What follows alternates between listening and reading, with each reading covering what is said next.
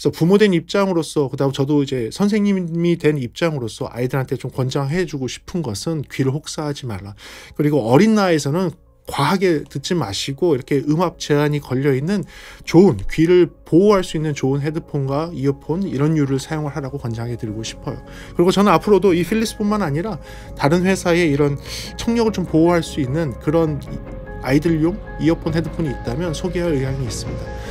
어, 의사가 있어요. 정말로 이런 이런 거를 제가 해야지 제 역할을 하는 거라고 생각을 해서 오늘 영상을 찍습니다.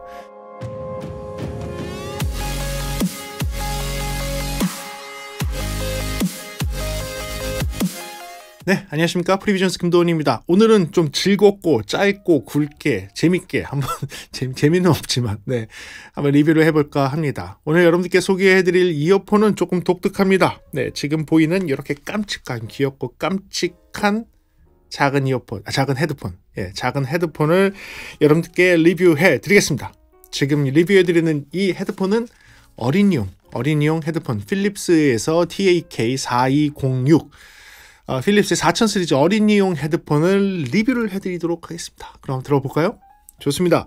이 제품은 왜 리뷰를 하느냐? 어, 제, 제 욕심도 살짝 들어가 있습니다. 어, 제가 어, 음향의 발전을 위한 것이라면 음, 오디오와 음향의 발전을 위한 것이라면 아, 좀 저는 조금 신경을 써서 하고 싶은 그런 욕심 마음이 있습니다. 이유는 저도 제가 어렸을 때 아, 저희 부모님을 통해서 저희 아버님이 오디오 관련된 일을 하셨습니다. 한 17년 정도 예, 오디오 관련된 일을 담당을 하고 계시고 그때 했을 때 제 주변에 제 옆에 제 방에 정말 많은 오디오 장비들이 있었어요. 그 오디오 장비들을 접하면서 저는 소리에 대해 듣는 것을 그 어렸을 때 나도 모르게 아, 알게 됐던 그런 기억이 있습니다. 그러다 보니까 제가 커서 지금 이 위치에 있고 이렇게 여러분들께 오디오 제품도 소개를 하고 음향에 대한 기술도 소개를 하고 그리고 저는 밖에 나가서 아이들을 음, 가르치기도 하면서 여러 가지 음향적인 활동을 하고 있는 사람으로 이렇게 성장을 했습니다. 그래서 유년기 정말 어린 시절에 어떤 어떤 오디오 장비를 접하느냐 또는 유년 시절에 어떤 좋은 소리를 접하느냐에 따라서 굉장히 다른 굉장히 다른 삶을 살 수 있다고 생각합니다. 특히 여러분들이 자녀가 오디오뿐만이 아니라 음악 쪽에 관련돼 있는 그런 일을 하는 것을 좀 꿈꾸고 있다. 아니면 지금 부모님이 두 분 다 음악을 하시는 분이어서 어린 아이들한테 조금 더 좋은 소리로서 음악을 접하게 해서 성장하는 과정에서 그쪽으로 조금 관심을 가질 수 있게 하는 것을 원하신다면 오늘의 리뷰가 굉장히 재미있고 오늘의 리뷰가 굉장히 좋은 리뷰가 될 수 있을 것 같습니다. 오늘은 독특하게 그냥 뭐 제가 원래는 특징, 장 장점, 단점 이렇게 해서 얘기를 할 텐데 이 어린이용 헤드폰 제 머리에 또 들어가지도 않습니다. 제 머리에 들어가지도 않는 어린이용 헤드폰. 제가 이렇게 들어야 돼요. 이렇게 들어야 되는 어린이용 헤드폰이지만 이 제품이 왜 필요한지 특징과 그 다음에 제가 생각했을 때의 짤막한 장점과 단점 설명하고 제가 이 리뷰를 왜 하는지에 대한 것으로 결론 내리면서 이 리뷰를 한번 맞춰볼까 합니다. 그래요. 그럼 특징부터 들어가면서 제가 좀 설명을 한번 해보도록 할게요. 지금 여러분들께 보여드리는 이 헤드폰은 어린이용 헤드폰은 여러 회사에서 나오지만 오늘 보여드리는 거는 필립스 사에서 나오는 나오는 4000 시리즈 아, 모델입니다. 4000 시리즈 TAK4206이라고 하기도 하고요. 4000 시리즈 어린이용 헤드폰으로 검색하셔도 나오는 그런 제품입니다. 굉장히 가벼워요. 굉장히 가볍고요. 귀에가 굉장히 부드러운 약간 인조 가죽이겠죠. 네, 인조 가죽으로 되어 있는 플라스틱 성질의 굉장히 가벼운 제품으로 되어 있습니다. 어린이용 블루투스 헤드폰이에요. 예, 어린이용 블루투스 헤드폰이고 on-ear 타입입니다. 귀를 딱 이렇게 딱 가려지는 예, 귀를 딱 가려지는 것으로 밖에 있는 소음이 들리지 않도록 하는 on-ear 타입의 밀폐형이고요. 재밌는 거는 85dB SPL로 음압 한계가 있어요. 이게 진짜 키포인트예요. 이게 정말 중요한 거예요. 이게 정말 중요한 겁니다. 95dB로 귀를 딱 그 이상으로 들을 수 없도록 막아 놓은 제품입니다. 요거는 제가 나중에 가 설명할 때 이게 왜 중요한지에 대해 설명을 드릴게요. 그리고 32mm의 다이나믹 드라이버로 되어 있고 20에서 2만 헤르츠까지 다 나옵니다. 제가 테스트를 해봤는데 20에서 2만 헤르츠까지 다 나오는 블루투스예요. 물론 초고 초고역 뭐 16K 이상에서부터는 roll-off가 있지만 저음의 20 헤르츠부터는 굉장히 잘 나와 그 20 헤르츠까지 잘 나오는 그런 헤드폰이에요.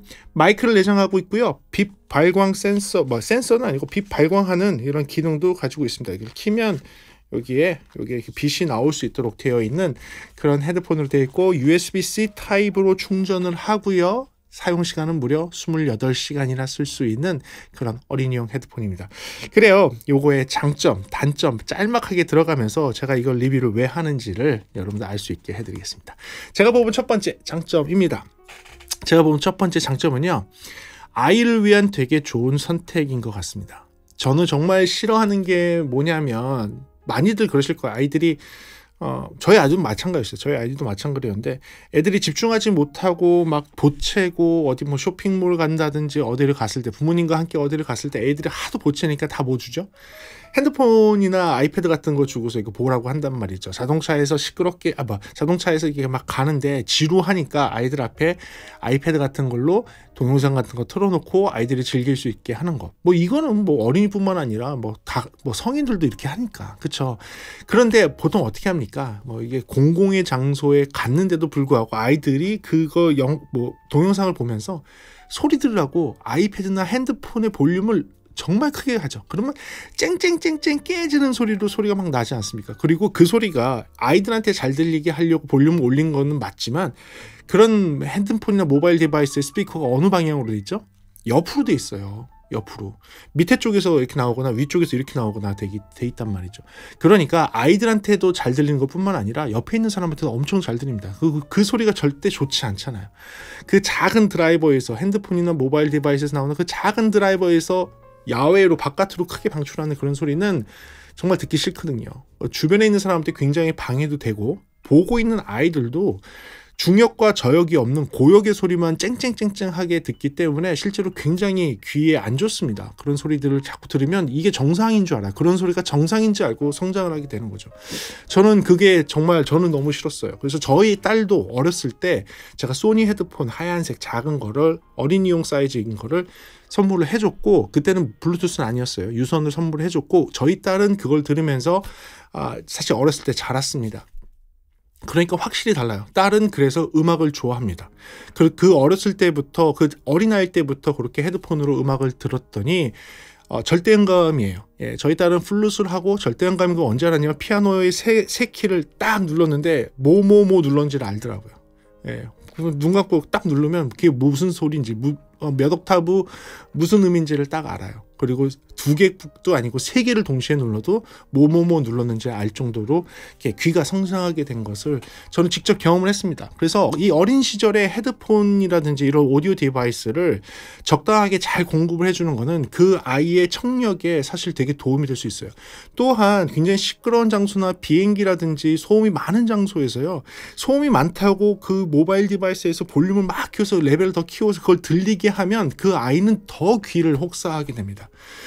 그럴 때는요, 사실 이런 헤드폰을 아이들한테 딱 씌워주고 적당한 볼륨으로 소리가 나오게 하고 밖에 있는 소리는 지금처럼 밀폐형 헤드폰을 사용을 해서 밀폐형 헤드폰을 사용을 해서 밖에 있는 소리를 차단해 주는 게 좋아요. 그래야지 소음은 줄이면서 원하는 소리를 들려줄 수 있고 그렇게 하면서 좋은 소리로 귀를 성장할 수 있게 해주는 저는 굉장히 좋은 tool이라고 생각합니다. 제가 경험을 했고 저희 딸이 이렇게 성장을 했고 지금은 저희 딸이 고등학교인데 고등학교에서 밴드 생활도 합니다. 그러니까 플루트 하고 밴드 생활도 하고 어, 음악도 굉장히 좋아하고 잘 성장하는 모습을 봤어요. 저도 마찬가지로 어렸을 때 그렇게 오디오 장비를 접하면서 지금의 모습이었고 저희 딸도 제가 어렸을 때 선물했던 하얀색 소니의 헤드폰을 통해서 지금은 이렇게 음악을 하는 그런 딸로 성장을 했죠. 아, 공부도 잘해요. 예, 공부도 잘하는데 그런 음악을 취미 활동으로 즐기고 있습니다. 그래서 저는 이게 아이들을 위한 저와 같은 생각을 하고 있는 여러분이라면 되게 최고의 선물이 될 수 있을 만한 그런 제품이에요. 청력도 보호하면서 귀를 잘 막을 수 있다는 이게 너무 좋은 것 같아요. 그래서 그거 연달아서 또 다른 장점을 한다면 이런 헤드폰으로 이게 괜찮은 음질을 가지고 있거든요. 이런 헤드폰으로 아이들한테 접하게 되면 미래의 음악인이나 미래의 음향인으로 성장할 수 있는 되게 좋은 tool이라고 생각을 합니다. 저는 지금 아이들을 가르치고 있고 학교에서 아이들을 가르치고 있고 아이들한테 음향인으로서 음악인으로서 또 이 오디오 발전을 위해서 성장할 수 있는 그런 인력으로서 어, 그들을 좀 가르치고 있습니다. 그런데 그들이 항상 갖고 있는 그런 단점이 몇 가지가 있어요. 뭐냐면 오디오적인 지식 또는 오디오 기기를 다루는 기술은 뛰어난데 한 가지 잘 안 되는 게 있어요. 뭐냐면 청력이에요, 청력. 실제로 청력이 그렇게 그렇게 뛰어난 애들이 많지는 않습니다. 이게 되게 안타까워요. 그러니까 기술이나 능력이나 뭐 자기의 의지, 공부하려는 의지 이런 것들은 되게 좋아요. 그래서 아, 이 친구 잘 쓰면 좋겠다라고 하는데 그들에게 딱 닥쳐 있는 그런 한계점들이 무엇이냐면 잘 듣는 귀를 갖고 계신 분이 많지 않습니다. 지금 사실이에요, 그게요. 지금 우리 필드에서도요. 특히 뭐 학회나 이런 데 관련돼서 이런 데서 막 일하시는 필드에 있고 일하시는 분들 중에서 귀가 트여 있고 정말 좋은 소리를 잘 듣는 사람들이 많지가 않아요. 많지 않습니다. 뭐 그러니까 그래프도 잘 볼 수 있고 기기를 잘 다룰 수도 있고 튜닝도 잘 할 수 있고 이런 사람들이 있어요. 그런데 그분들이 실제로 소리는 잘 못 듣는 경우가 정말 많아요. 이런 거 많이 경험하셨을 거예요. 아, 뭐 녹음 엔지니어 쪽은 좀 달라요. 녹음 엔지니어는 오히려 기술에 대해서는 조금 잘 모르실 수 있습니다. 녹음 엔지니어들한테 믹싱 엔지니어나 마스터링 엔지니어는 기술에 대한 근본적인 그런 이론이라든지 이런 것들은 잘 모르실 수 있지만 그분들한테 굉장히 좋은 건 뭐냐면 뛰어난 귀를 가지고 있어요. 뛰어난 귀를 가지고 있어서 내가 원하는 소리를 만들어내고 창조해서 그런 것들이 이제 프로덕션에 나와서 음반이 되고 좋은 음악이 되는 것들. 그것서 봐서 그 녹음이나 믹싱이나 레코딩 엔지니어 쪽에서는 좋은 길을 가지신 분이 꽤 많지만 저 제가 일하고 있는 이 시스템 필드라든지 제조를 한다든지 약간 뭐 학, 학, 뭐 아이들을 가르치는 이런 부분에 계신 분들 중에서는 조금 듣는 게 약점이신 분들이 굉장히 많아요. 거기에는 제가 저는 뭐가 있다고 생각하냐면 어려서 자라면서 자라면서부터 오디오를 접했느냐, 어려서 자라면서부터 좋은 소리를 접했느냐, 안 접했느냐가 되게 차이가 큰 것 같아요. 많은 음악인들도 마찬가지인 것 같아요. 어려서부터 좋은 공연 보고 좋은 클래식 연주 같은 거 보고 악기 연주를 어떻게 하는지를 잘 보고 경험한 사람들은 커서도 정말 그런 음악들을 되게 즐겨하고 그런 음악들을 듣는 걸 좋아하고 그리고 그런 음악들이 누구가 연주를 잘했는지 못했는지를 판단할 수 있는 것 같아요.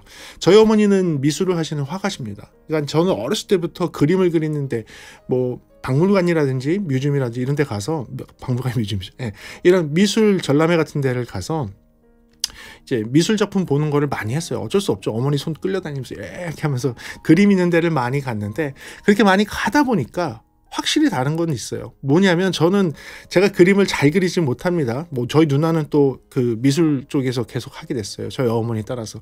하지만 저는 구별할 수 있는 건 알아요. 뭐냐면 그림을 딱 보면 아 이 그림이 좋은 그림이냐 안 좋은 그림이냐는 판단할 수 있어요. 예, 그, 그, 그거는 되게 특이하더라고. 제가 그림을 하는 사람은 아니지만, 어려서부터 그림을 접하고, 어머니의 그림을 보고, 어, 어머니 주변에 계신 화가분들의 그런 작품을 쭉 보면서 자라오다 보니까 아 이 그림 참 좋다. 아 이 그림 좀 별로다. 이거는 좀 정성이 좀 덜 들어갔는데 이 그림은 정말 정성이 많이 들어갔다라는 게 느껴져요. 느낌으로 알 수 있어요. 이게 다 그냥 어렸을 때부터 조기 교육에서부터 이렇게 왔다고 생각을 해요. 저는 오디오라고 왜 조기 교육이 필요하지 않다고 생각하는지는 잘 모르겠어요. 왜 어린아이들이라고 좋은 이어폰, 좋은 헤드폰을 사용하면 안 된다는 그런 것들이 조금 좀 이해가 안 돼요. 저는 오히려 어린아이 나이일수록 귀가 더 민감하고 예민하고 부드럽고 소프트하기 때문에 조금 더 부드럽고 소프트하면서 귀에 자극이 없으면서 좋은 소리 전달하는 이어폰이 헤드폰이 꼭 필요하다고 생각하는 사람입니다. 그런 부분에서는 저는 음향인, 음악인, 음향인, 음악인 그리고 오디오 필드에서 종사하는 그런 인재의 양성에서 정말 필요로 한 게 이런 헤드폰이라 생각해서 저는 앞으로도 이런 거 의뢰가 들어오면 계속 할 겁니다. 그래서 그런 부분인 것을 장점해 놓도록 하고요. 그리고 어 의외로 소리 밸런스가 좋습니다. 아, 저는 놀랐어요. 제가 지금 들어봤거든요. 아, 물론 이게 잘 안 돼서 이렇게 뒤쪽으로 걸어서 이렇게 해서 들어봤는데, 들어보는데, 야, 이거 애들 건데 이렇게 밸런스 좋아도 돼? 싶더라고요, 진짜로. 애들 건데 이게 이렇게 밸런스가 좋아도 돼? 싶었어요.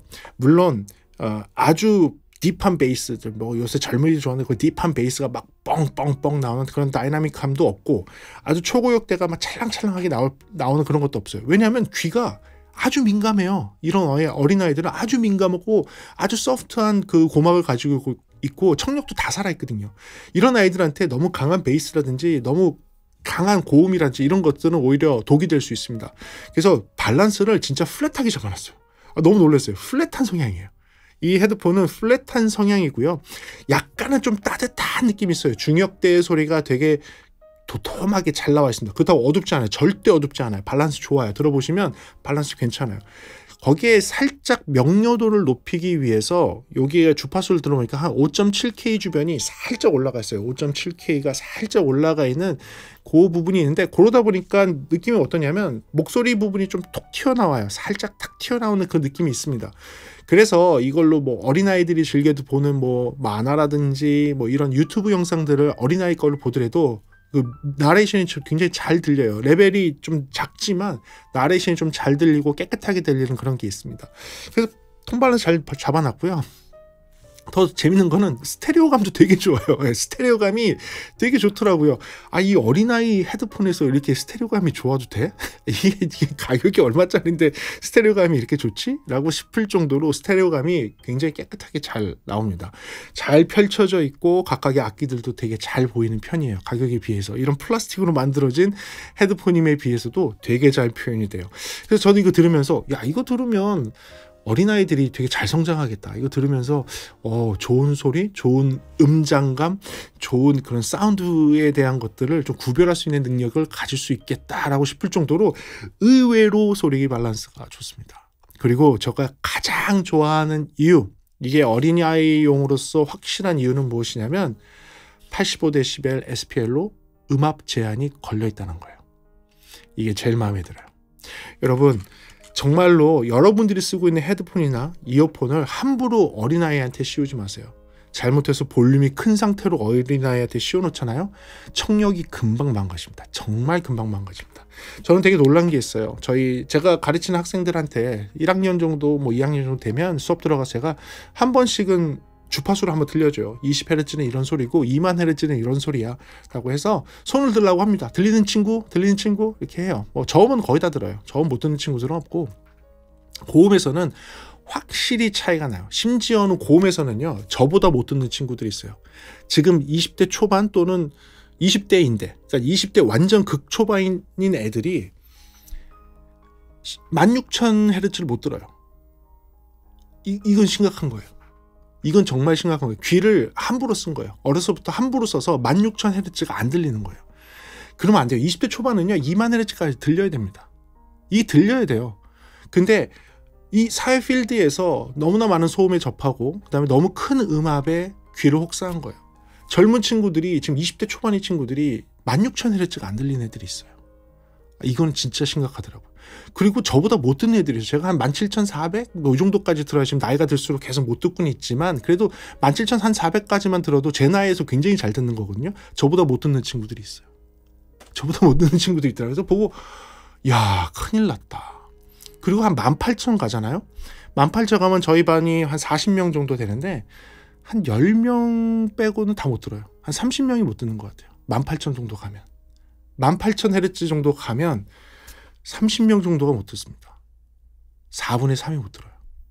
그 19,000 가잖아요. 한 3명 들어요. 한 3명? 2명, 3명? 그러니까 2만 헤르츠를 듣는 애는 거의 없어요. 이게 현실이에요.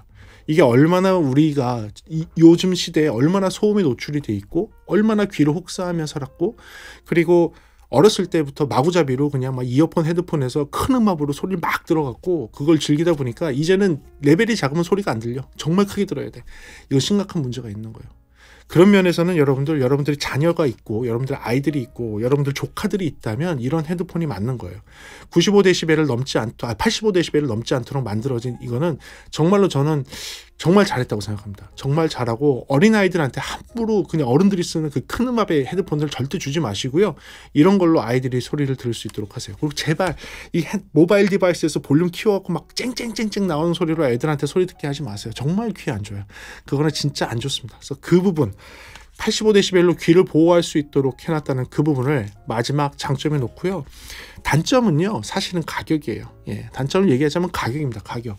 이게 지금 해외에서는 11만원, 13만원대에 판매가 되고 있더라고요. 이게 물론 해외에서 직접 구매를 하면 훨씬 더 싸겠지만 한국에서 해외 배송으로 하는 것들이 지금 11만원, 13만원 뭐 이렇게 판매가 되고 있어요.